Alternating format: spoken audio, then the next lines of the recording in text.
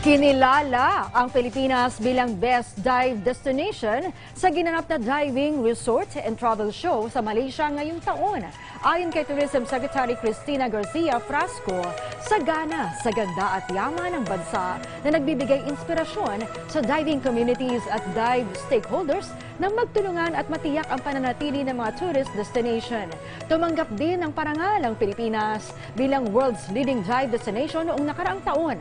Mula 2019 hanggang 2022, nakuha rin ng bansa ang parangal bilang Asia's leading dive destination.